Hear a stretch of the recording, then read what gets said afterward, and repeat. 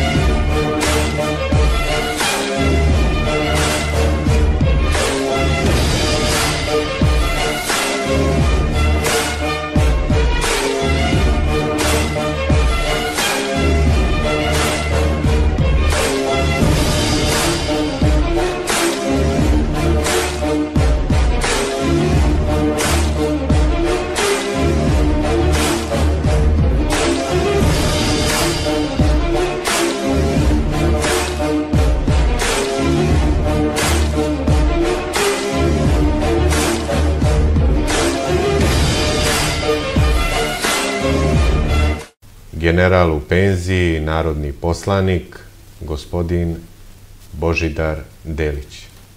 Generale, hvala vam što ste gost ove emisije. Hvala vama, hvala vam što ste me pozvali i pozdravljam gledalce vaše televizije. Na samom početku, operacija Strela ili bitka na Paštriku. Možete li da nam ispričate neke događaje koje ćete pamtiti do kraja života? Znači, ja inače dobro pamtim i mnogi događaja iz 98. i 99. godine i danas su mi a, apsolutno ono, u pamćenju. Ali operaciju Strela pamtim od, da kažem, toga prvog trenutka, od 26. maja u ranim jutarnjim časovima, kada su prvo uh, teroristi napravili demonstrativni napad. A da demonstrativni napad je bio više okrenut prema Đakovici, preko rejona odbrane moga drugog motorizovanog bataljona, kojim je komandovao Vlatko Vuković. On je rano mi izvestio da je artiljerija počela vatrenu pripremu na njegovom pravcu, da je se tenkovi čuju iz dubine koji nastupaju prema granici, da su normalno sve jedinice na svojim položajima spremne da prihvate borbu. I otpočela je znači, međusobna artiljerijska priprema njihova, dejstvo naše artiljerije po vatrenim tačkama i onda je taj intenzitet slabio. I odjedan put u ranim jutarnjim, baš ono u ranim jutarnjim časovima, na pravcu Karaule Gorožup i Planeja, zove komandant te borbene grupe 1 kroz 1 i izveštava da se, pošto zemljište na albanskoj strani je otkriveno, da se vide streljački strojevi šiptarskih terorista, kako ono uz one uzvike Allahu Egber nastupaju ka našoj teritoriji. E, rekli su mi da su to četiri streljačka stroja koji idu jedan iza drugog na rastojanju od 100-150 metara. I to kad gledate, ovaj, verovatno za onog običnog vojnika koji čeka u rovu, nije sve jedno na tom pravcu, na tih šest kilometara, toga momenta je bilo oko 400 naših vojnika pod komandom kapetana Dimitrijevića, koji je komandovao snagama brigade, i kapetana Mišića, koji je komandovao tom graničnom četom. Odmah su date uzbune u svim jedinicama brigade i artiljerija je prva otpočela dejstvo. Haubice 122, minobacači 120 i višecevni bacači raketa Oganj. Jer smo imali dve baterije u Prizrenu iz 52. artiljerijske brigade Prištinskog korpusa. Sa 14 lokacija, artiljerija se nalazila na 14 lokacija, upravo zbog avijacije. I bile ono, disperzovana na pogodne položaje. Ona je prva počela da dejstvuje. Kako je sa one druge strane, tako mi makar kažu, stalno ono odjekivalo Allahu Egber, sa naše strane se samo čulo pomozi Bože.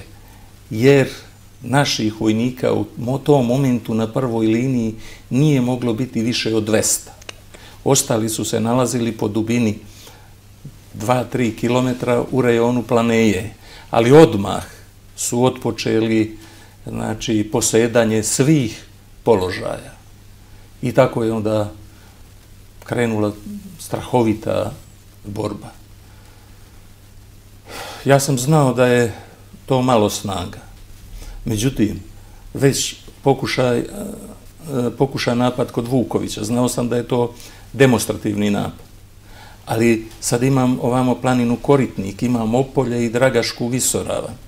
Na svim pravcima je moguće očekivati napad. Nemam rezervnih snaga. jer moja brigada brani umjesto 25 do 30 km koliko joj pravila predviđaju, ona brani 150 km. I ja onda naređujem da iz oklopnog bataljona se formira čet, da se smanje tenkovske posade negde za jednog, negde za dva čoveka, jer i onako tenkovi zbog avijacije nisu smeli da izlaze iz skloništa koja su bila dobro maskirana. Smanjimo artiljerijske posade, smanjimo posade protiv oklopnom divizionu i iz pozadinskog bataljona od kuvara i ovih tehničara i tako dalje, isto napravimo četu. Bukvalno na paštrik su krenuli svi tenkisti, artiljerci, protivoklopna artiljerija, PVO i pozadina. Svi su dobili, e, tamo je odmah krenulo i deo starešina komande i u Ionu Planeje je formirano istureno komandno mesto. Borbe su znači već vođene na rastojanju od 100-200 metara. E, u prvom, računamo da je Šiptara ukupno u prvom sa, rezerv, sa rezervom bilo oko 6000. Ali da su oko 2000 napadali na tom frontu od 6 km. Artiljerija je nanosila gubitke. Međutim, sada kada su došli u e, domet streljačke vatre, naši vojnici su bili ukopani, ispred je, su bila minska polja i ispred je bilo još nešto što smo mi sami napravili. To su mine usmerenog dejstva Vihor 1, koje smo mi sami pravili u brigadi u Prizrenu koristeći mogućnosti te lokalne prizrenske industrije koje su bile teške 70 kg i koje su nanosile e, strah, imale strahovit efekat prema neprijatelju. Bukvalno, ako se dobro postave, one su mogle sve da zbrišu ispred sebe na daljinama recimo do 500 metara. Ali šiptari su ipak kroz među prostore, između vodova prve linije, toga prvog dana uspeli da se ukline na par mesta oko 500 metara, na jednom mjestu gotovo kilometar. U popodnevnim satima već mi se javljao kapetan Mišić da karaula Gorožup, koja je srušena, nju su srušili ovi apači, helikopteri, ali oko karaule su ranije bili izrađeni ovaj rovovi, zakloni, i vojnici su bili u njima, ali su već bili u poluokruženju. Ja sam naredio da se izvuku na sljedeći položaj, to su sela ovaj, Bina i Nina, i da se ta linija uveže na toj lin, na, u toj visini i da će u popodnevnim časovima stići pojačanje. I e, u tom momentu, e, sećam se dobro, odmah sam i izveštavao sam usmeno, ali ono da bi ostalo zapisano, poslao sam telegram komandi Prištinskog korpusa o jačini neprijateljskih snaga, na kojim pravcima napadaju, gdje su uspjeli da probiju našu odbranu i da napustamo Karaulu Gorošu. Posle pola sata, opet mi javljaju se vojnici, ali sad kažu nešto što me je i obradovalo, ali u tom momentu i zabrinulo. E, kaže, mi se vraćamo ponovo na Karaulu Gorošu. Ja kažem, ne dozvoljava, jer Karaula je samo gomila kamenja, sve srušeno, nema tamo ništa. A kaže, mi smo, treba nam samo još jedan skok. Vatrena priprema, skok i mi ponovo u naše rovove.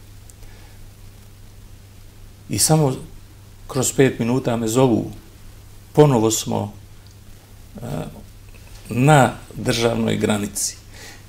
Ti džepovi koji su šitari napravili, oni su ostali ja odmah šaljem drugi telegram, da je e, Karaula Goružup povraćena.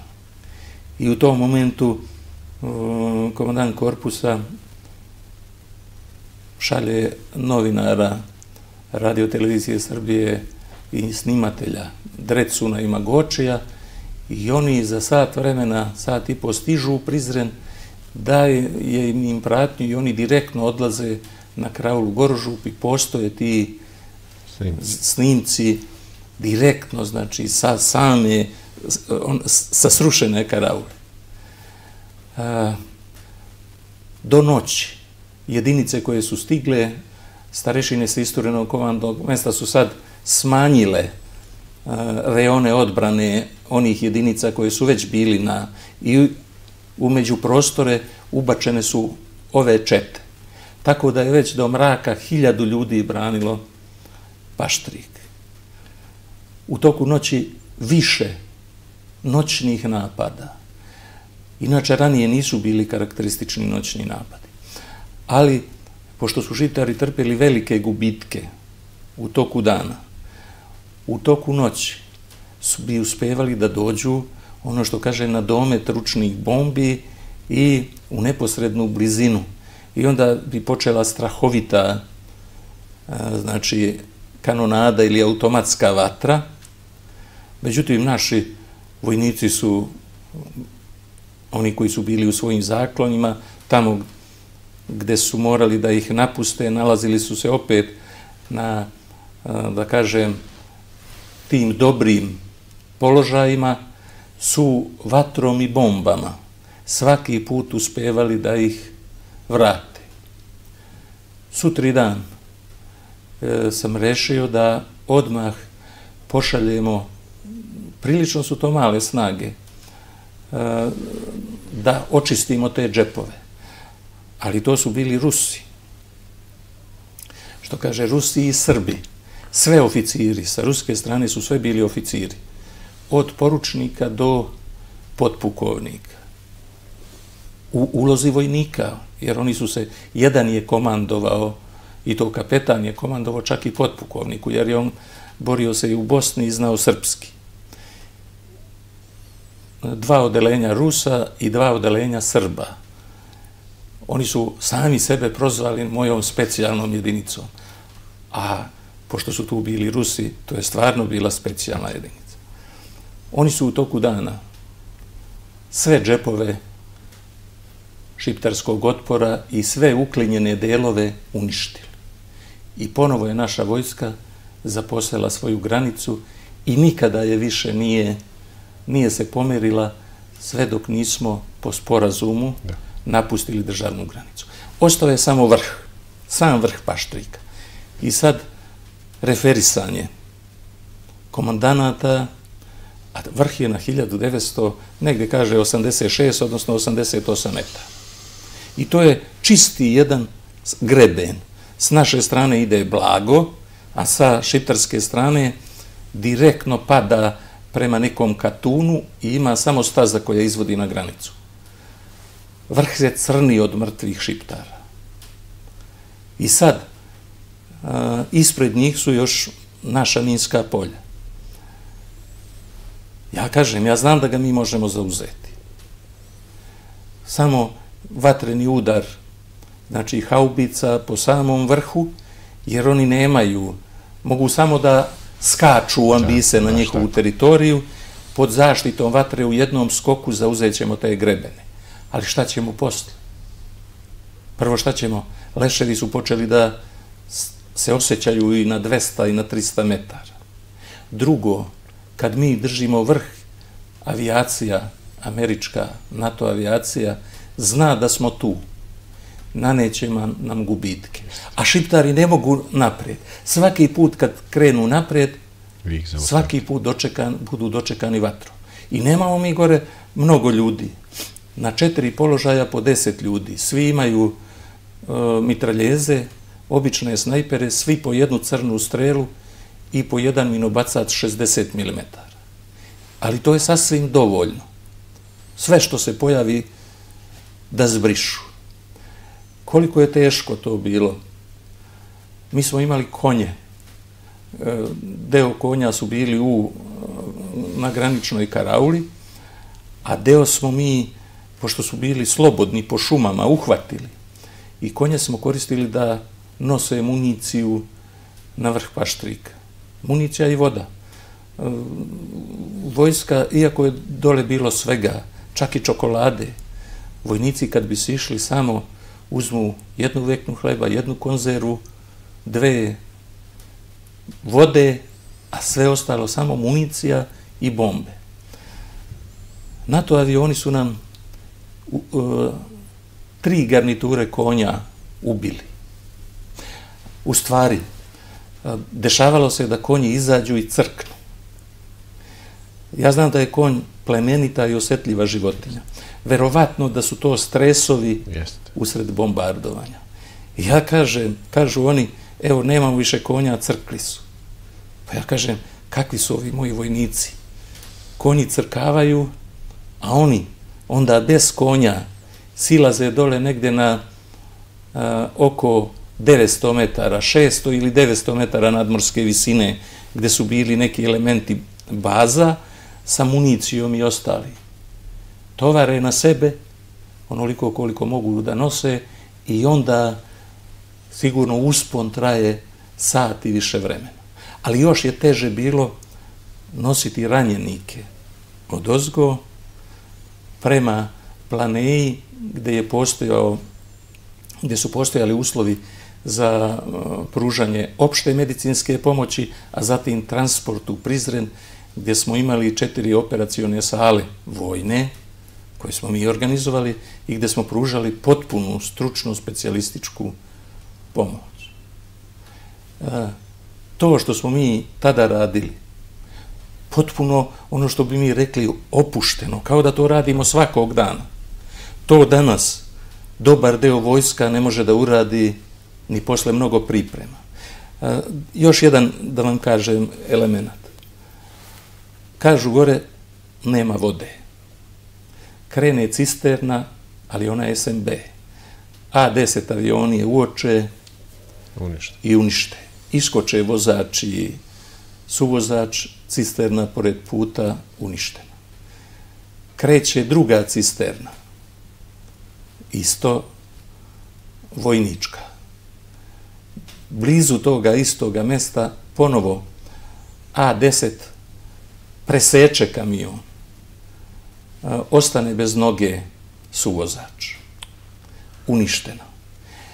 Ja sad znam, e, vojska traži da joj se doturi voda, ali ako bude baš došlo, jezero je ispod njih. Mogu da siđu do jezera, imali su jedan, imali su kod sebe i pentocit, tablete i tako dalje, ali, znači, tu je jezero. I ispod samog vrha, ali na našoj strani postoji bunar u kome ima vode. Ali, šiptari znaju gde je i povremeno mine 120 mm padaju u njegovoj, one lutajuće u njegovoj brzini, blizini. Ali moglo je. Ali ja sam ipak, kažem, voda i mora da im se doturi.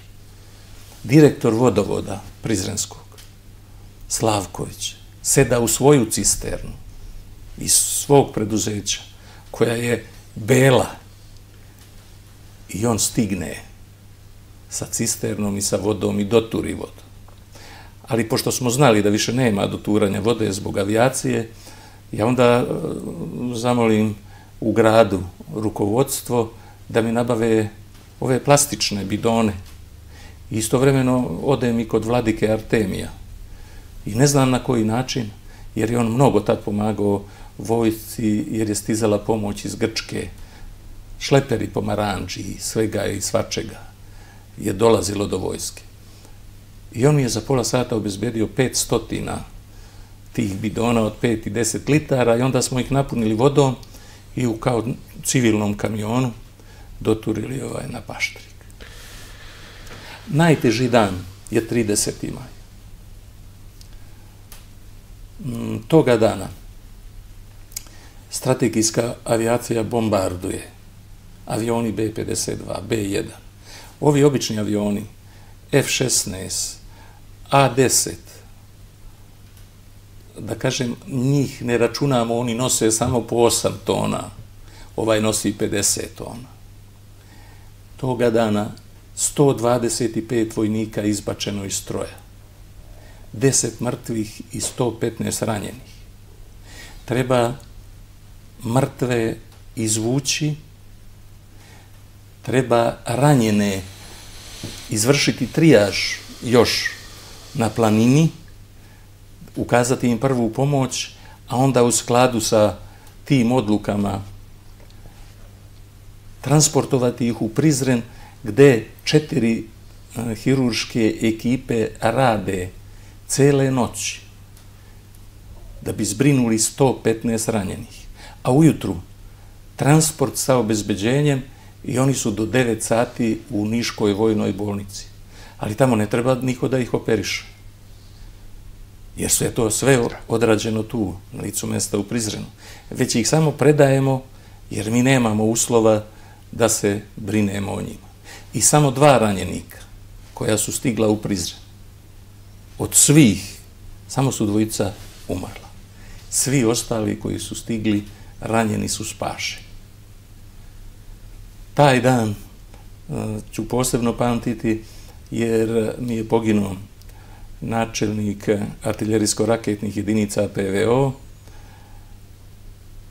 E, kontuzovana mi je kompletna komanda, odnosno istureno komandno mesto, jer je ono pogođeno sa više projektila B50, od aviona B-52 i direktno u rejonu komande je poginulo sedam vojnika.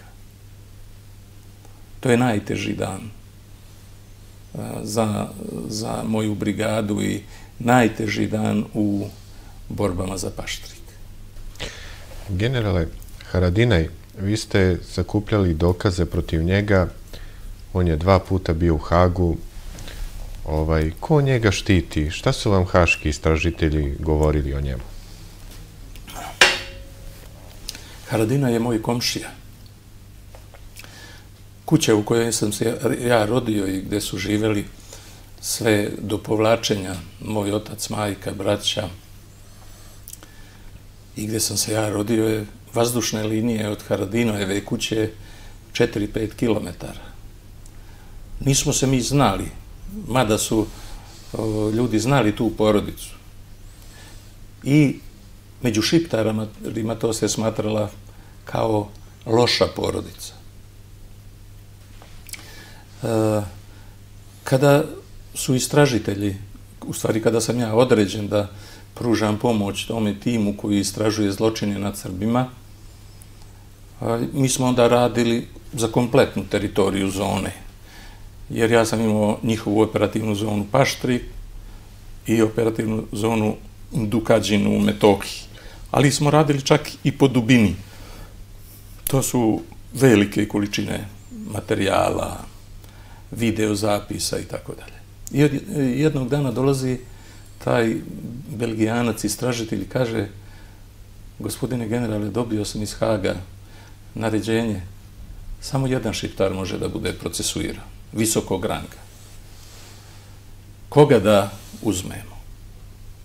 E sad, ja ne mogu, sad da ja kažem neko tamo iz operativne zone šalja koji je daleko od mene, i, nego a, nekako najviše smo imali e, dokumenta sa potpisom, zapovesti, naređenja Haradinajevih. Imali smo čak i zapisnike sa sastanaka.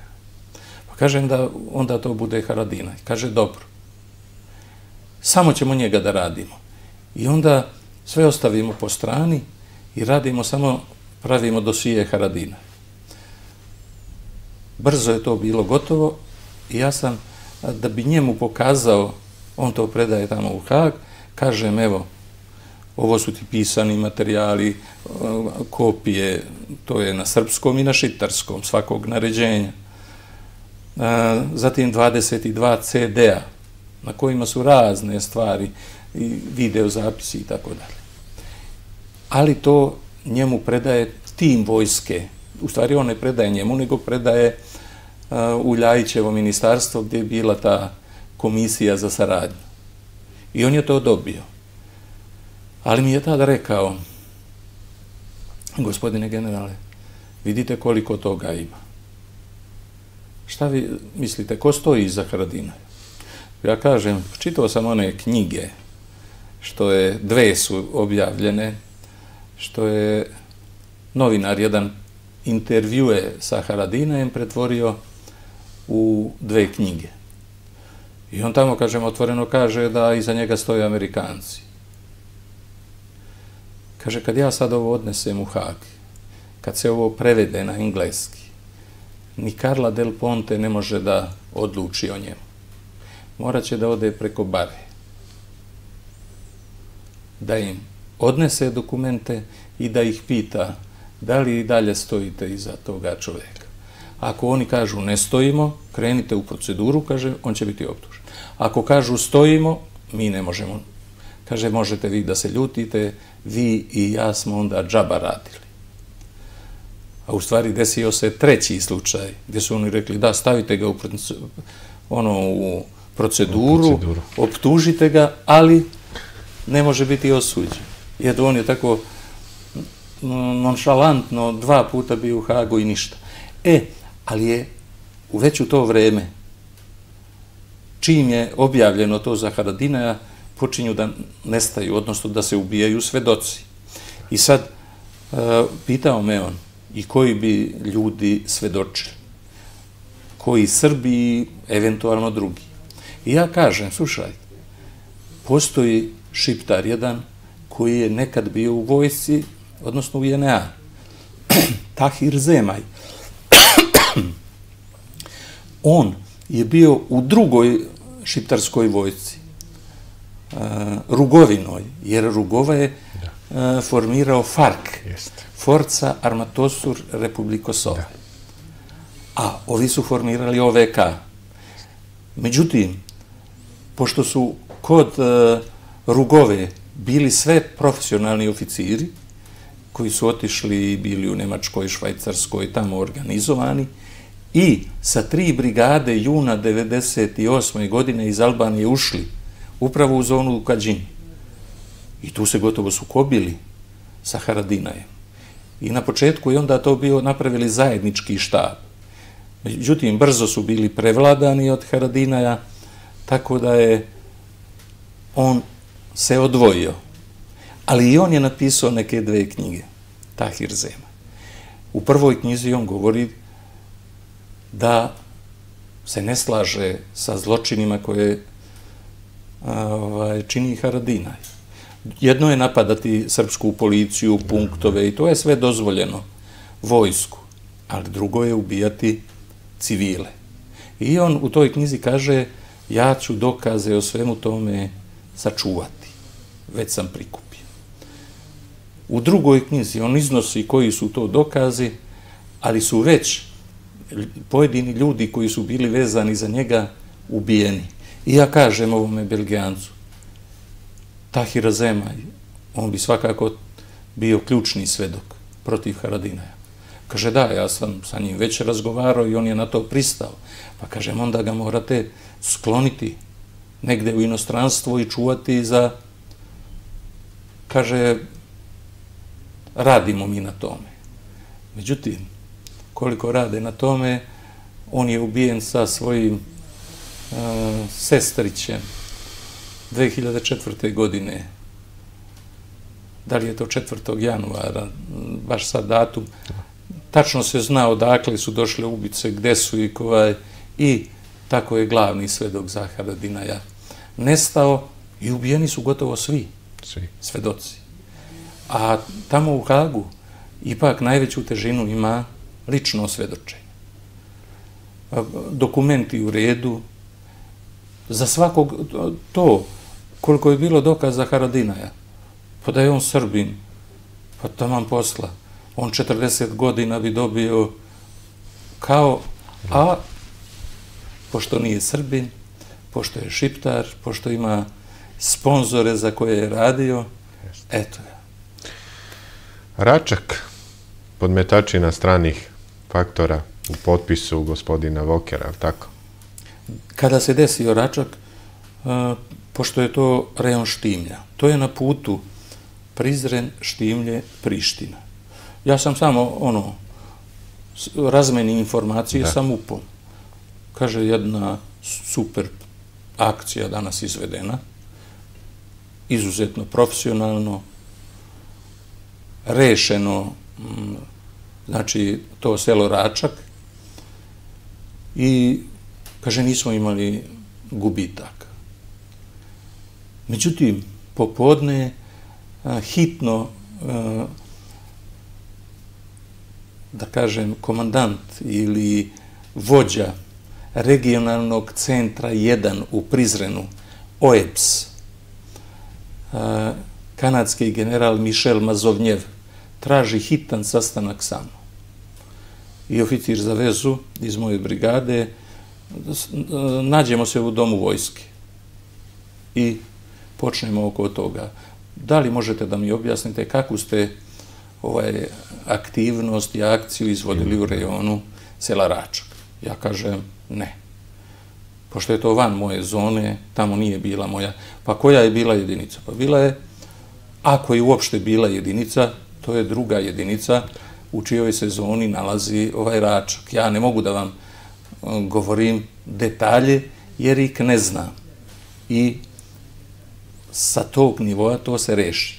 Međutim, kroz par dana ja sam dobio ono sve informacije. Vojska u aktivnosti nije učestvovala, ali pošto je vojska bila u, na, na svojim mestima odakle obezbeđuje ovaj, taj 14 km dugi klanac prema od Štimlja prema Prizrenu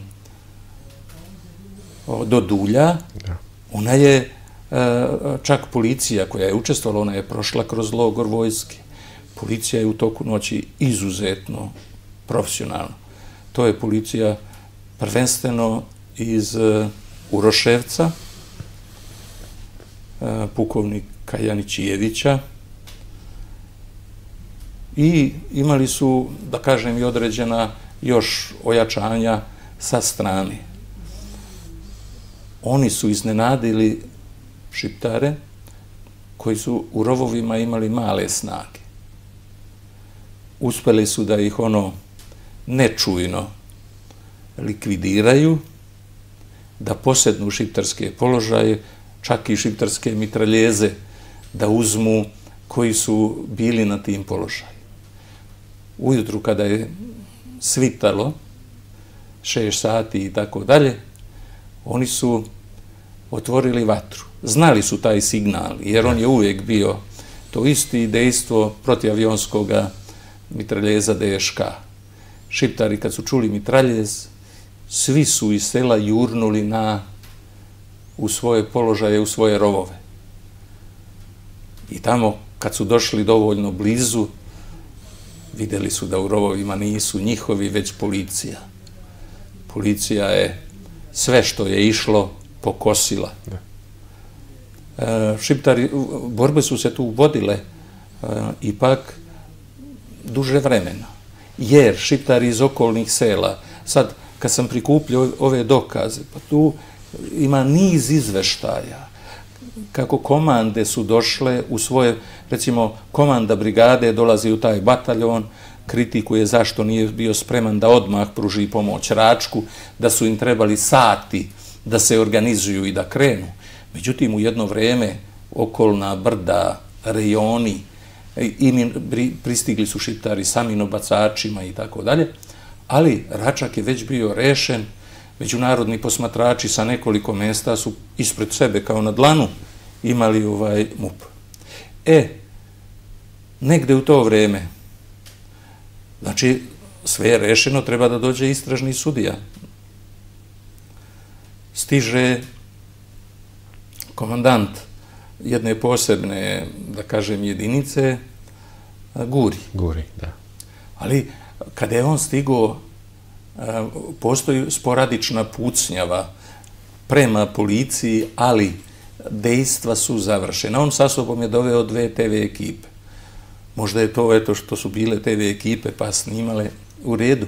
Međutim, e, kada je Danica Maksimović pokušala da izvrši uviđaj, bilo je nebezbedno i onda je odlučeno ipak da se odloži za sljedeći dan, a da će Guri sad sa svojom jedinicom ostati u tim rovovima, tu nije ugrožen, e, oružje stoji tu gde stoji i da sačuva ono, da kažem, lice mesta, da se uviđaj može izvršiti, a da će snage MUPA sutra krenuti i odbaciti te teroriste koji smetaju. Bez odobrenja Guri je napustio položaje. Poneo je samo oružje. I tako je omogućio da Voker može... Znači, to Voker je profesionalac. Ako mu ti daš bilo kakav prostor, sto, on ima stotine varijanti na umu, on će ga iskoristiti. I on je to iskoristio. E, kada smo svedočili u Hagu, ili neposredno pred to svedočenje, e, pošto je Račak bio strahovita optužba, to pobili su civile i tako dalje, znači borci pretvoreni u civile. Čak jedan broj poginulih je bilo više, bilo je i stranaca, kako su mene izvestili. Oni su sklonjeni. Onda jedan broj tih je također sahranjen tamo na groblju, a ovi koji su presučeni u civile, pa nad kojima je vršena ta priprema, da se pokaže da su streljani, oni su ostavljeni E, tu na mestu. Mi smo u pripremi za svedočenje u Hagu uzeli onda spiskove šiptarskih jedinica sa tog prostora i išli od jedinice do jedinice. Čak e, taj spiskovi poginulih, tu je isto bilo neka dva spiska, ali sve smo što smo dobili od njih, onda uzeli i upoređivali. I tako čišćenjem tih spiskova, 34 ili 35 od tih civila, mi dokažemo da su vojnici. I odjednom u Kagu, iz optužnice se briše račak. Ali e, takav je Hag. Znači, imate reci, 9, 10 tačaka optužnice. Vi pet dokažete... Oni ostali izvišu. Oni, pazi, izbrišu pet, ali vi od dalje ono četiri vam je 100%. Ne kažu vi ste dokazali 60% da ste vi u pravi, ima još ovo. Ne, ovo što ste dokazali se odbacuje, odbacuje, a ono što je ostalo vam je opet na glavi. Ali e, važno je da je račak odbačen, kao na kraju krajeva što su i u Bosni i Hercegovini Merkale, ulica Vasa Miskina, u Tuzli, Tuzlanska kapija, sve su to scenariji koji su eksperti sa zapada E, znači pripremili, ali u Sarajevu, posebno u Tuzli.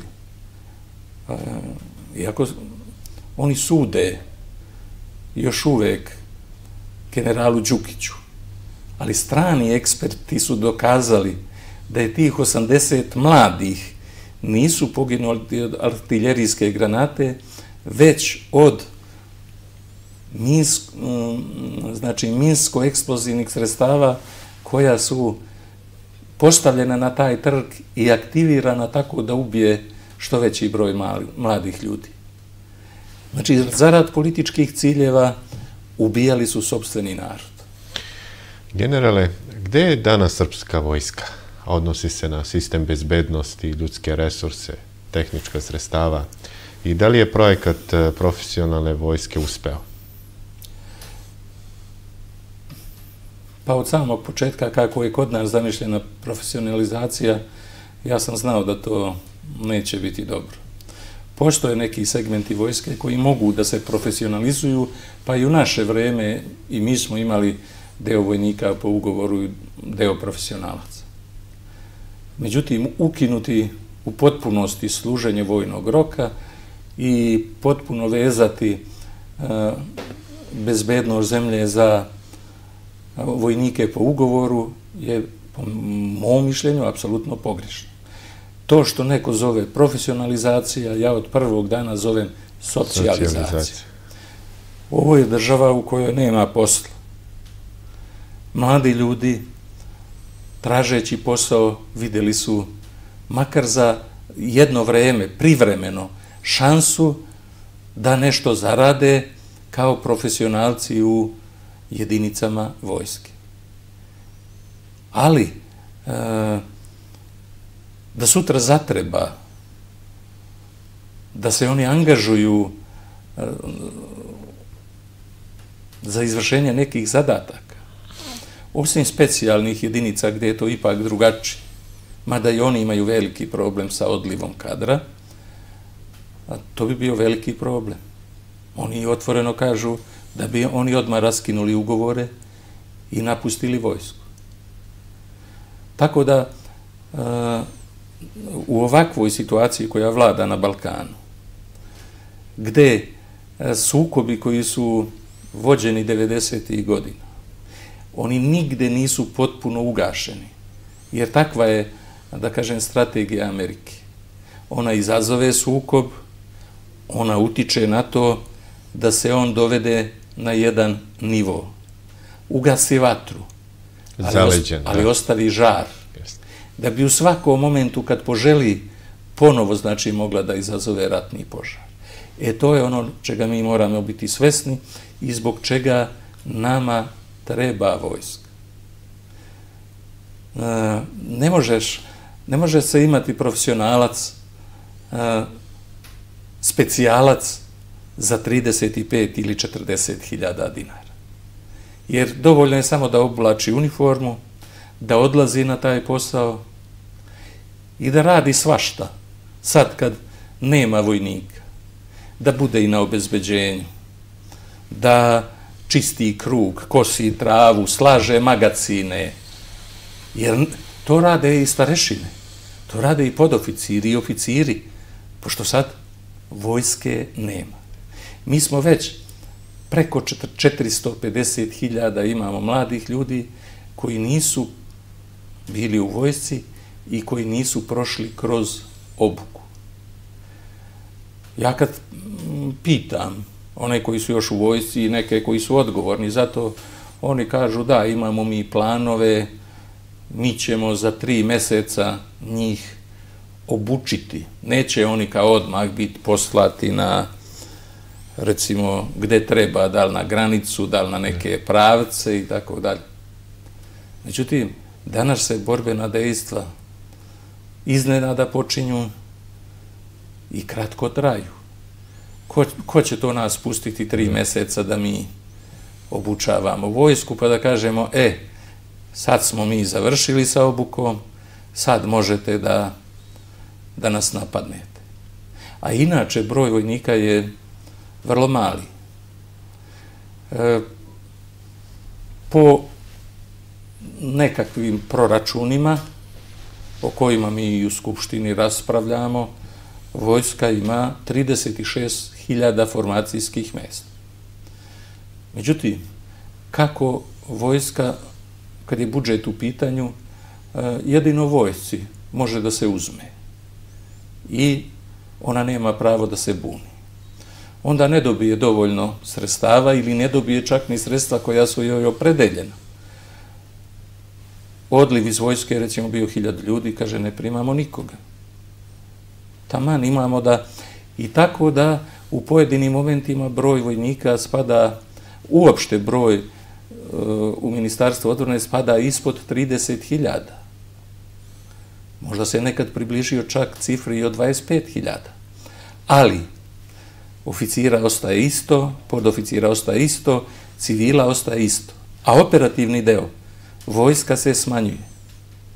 I njih je toliko malo da moja brigada iz Prizrena nekad je i dvostruko jača bila od celokupne sadašnje vojske. Ova moja ratna brigada, po brojnom stanju, dvostruko bila jača od celokupne vojske, znači gledajući ono po broju ljudi, a da ne kažem koliko bi bila i koliko je bila jača, jer je dve godine, odnosno 15 meseci bila u ratu, stekla strahovito borbeno i taktičko iskustvo. E, da li, da li su bezbednostni rizici u Srbiji na visokom nivou, a odnosi se i na terorizam? E, pa posljednjih godina, posljednjih godina i u Srbiji i u okruženju, pa možemo da kažemo i u širem okruženju. Oko nas su se dešavale različite situacije, ni arapska proleća nisu bila daleko od nas. Ta arapska proleća su direktno uticala na visok nivo bezbednostnih rizika. Nas, taj deo koji je iz Libije, iz Afrike išao ka, Evro, ka Evropi, on je naš zaobišao, jer je to išlo prema Italiji, Francuskoj i tako dalje. Ali ovaj deo koji ide iz Sirije, Afganistana, on ipak e, jednim delom prelazi preko naše teritorije. Tako da je preko naše teritorije prošlo stotine hiljada izbeglica, migranata.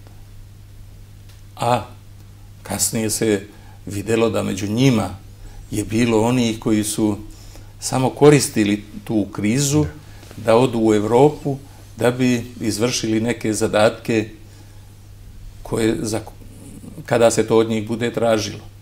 Mi danas u Srbiji imamo migranata, izbjeglica, više nego što smo ikada imali na svojoj teritoriji. Čak više struko više. Napravili smo dosta tih izbjegličkih centara. Vi kad pogledate Beograd, ja gledam svoje naselje, u njemu nekada nije bilo ni jednog stranca. Migranti koji imaju novca po celom Beogradu su iznajmili stanove i oni ne spadaju u broj tih migrana. Uveče par puta sam bio ono na trgu Republike kod spomenika knezu Mihajlu. 50% ljudi su arapskog porekla. Govore Arapi. 50% su naši. To je ogromna masa ljudi. Oni su potencijalni na opasnost i rizik. U sve drugo, u sve drugo što imamo u okruženju. Znači imamo situaciju na Kosovo i Metohiji. Mi imamo, evo, država ne reaguje. Pojedinci iz Raške oblasti stalno daju neke izjave zbog kojih, po mom mišljenju, bi trenutno morali da dođu pod udar zakona. Nešto što može da se desi na proleće. Od Erdogana, mnogo zavisi i od Turske, jer ona na svojoj teritoriji drži 3 miliona izbjeglica. A ako Evropa nekada ne shvata ozbiljno Erdogana, on je jako ozbiljan. On, će, on može Evropi da napravi problem koji ona ne može da reši. Ako pusti 3 miliona izbjeglica da se jednog dana nađu na tim evropskim obalama i da krenu unutrašnjost. Ja znam da kod nas postoje te procene i u MUP-u i u vojsci da bi to moglo da se desi i da se pripremaju snage da to spreče. Međutim, opasnost svakako postoji. I odnos između velikih sila, gde smo mi kao, kao mala država, eto, koriste nas jedni i drugi. Amerikancima smetaju četiri Rusa na našoj teritoriji u Revonu Nišu. Da. To je apsolutno smešno. I to, a mi pokazujemo koliko smo netransparentni, pokazujemo koliko, eto, ne odlučujemo sami u ovoj zemlji, odnosno koliko moramo voditi računa šta ko kaže, pa godinama ne dajemo toj četvorici Rusa iz toga znači, centra za vanredne situacije, odnosno humanitarnog centra, on je trebao da bude centar za vanredne situacije, ne dajemo im taj diplomatski status kakvu imaju stotine Amerikanaca na tlu Srbije. I takav status imaju i albanska vojska iz Albanije, iz makedonska vojska, grčka vojska, bugarska vojska, kada odlaze na vežbe u Nemačku, takve smo sporazume potpisali, kad se pojave na našoj granici, kažu došli smo. Spiskove prolaze kroz našu zemlju i imaju diplomatski status. Gde je Srbija danas? Evropa ili Rusija? I da li će ovo sedenje na dve stolice skupo da nas košta, kako bi rekli neki? Pa uvek. Ja mislim, ne samo nas, nego gledajući u istoriji sedenje na dve stolice redko se kome isplatilo. Mm. Traži i jedna i druga strana da se opredeli. Jedna strana, to je Evropa, odnosno uvek da kažemo Evropa. Čak i ona se ne pita ni o sebi toliko, tu je Amerika, koja nam je koliko juče pod bombama oduzela Kosovo i Metohiju. A, sa druge strane imamo Rusiju. Rusija je okružena a, slomom Varšavskog pakta, svi sporazumi koji su u to vreme napravljeni su pogaženi. I sada te neke zemlje bivše članice Varšavskog ugovora su u stvari postale NATO baze i baze američki. I koliko god Amerikanci, eto, pokušavaju da sebe predstave da oni nisu došli na granice Rusije da bi napravili Rusiju i da oni nisu opasnost, a čak i djeca iz vrtića znaju zbog čega su oni tu. Ja sam nekad u ranijim sazivima Skupštine svake godine odlazio na više sastanaka i tih rot row seminara parlamentarne Skupštine NATO pakta. A tamo smo pridružena članica, isto kao i Rusija. I uvijek sedimo pored Rusa. I sad Rusi pitaju zašto recimo te snage i ta sredstva se raspoređuju u toj zemlji kad njoj nikakva opasnost ne, pre, ne preti od Rusije. Kaže, ne, tačno je da ne preti opasnost od Rusije, ali, kaže, preti ranije bilo da li iransk, od iranskih raketa, sad su od a, severnokorejskih raketa. Pa sad mi kažu, ali te rakete neće leteti, jer da bi došle do vas, moraju da lete preko naše teritorije. A mi ne možemo, mi nikad nećemo dozvoliti da se ispaljuju preko naše teritorije na vas. Oni, ako žele da napadnu Ameriku i tako dalje, leteće upravo u suprotnom pravcu. Isto na tim seminarima nešto se govori i sada Gruzija, miljenik je Zapada. Miljenik je samo zato što je treba ovaj odvojiti od Rusije. I sad, e, raspravlja se o Afganistanu. I tu je i delegacija Afganistana kao gost. I oni postavljaju pitanje. Dok su bili talibani, deset puta manje se je proizvodio heroin nego danas. A njima je on korišten.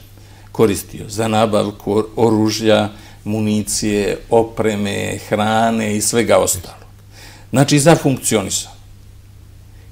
Sad, kada Amerikanci drže Afganistan, proizvodnja povećana deset puta. I oni kažu, pa svako polje maka se vidi iz aviona, iz helikoptera i tako dalje. I onda svi počnu da se smeju, jer svi znaju da je to fars. Da se tamo heroin, odnosno mak i polja maka e, ovaj, gaje zbog Amerikanaca. I onda smo čak videli, slike su prikazali, mak pored njihove baze. A onda za narod se prikaže ovaj neko polje maka gde idu ovaj, sa štapovima i udaraju lome čaure one i tako kaže, tako se obračunavaju. Oni kažu, nalete avioni sa hemijom, nestanu polja maka. Uh, jednostavno, ceo svet u zadnjih 20 godina i civilizacija Napreduje tehnologija, ali ne napreduje civilizacija. Civilizacija ide unazad. I mi polako ulazimo u opasne periode. U opasne periode posebno za male zemlje kao što je naša. Jer veliki vode računa o sobstvenim interesima i to da li će neku malu zemlju ovaj povrediti, pregaziti i tako dalje, oni o tome ne vode računa. Ali ja, kao radikal, uvek sam za to da imamo čiste odnose sa Rusima i pošto ne možeš biti sam, 99. godina je to pokazala, da mi ipak treba da se opredelimo. I ja ne sumnjam, jer to je istorija pokazala više puta, čak i naša daleka istorija, da nam je pomoć uvek stizala sa istoka. Nekad u manjoj, nekad u većoj meri.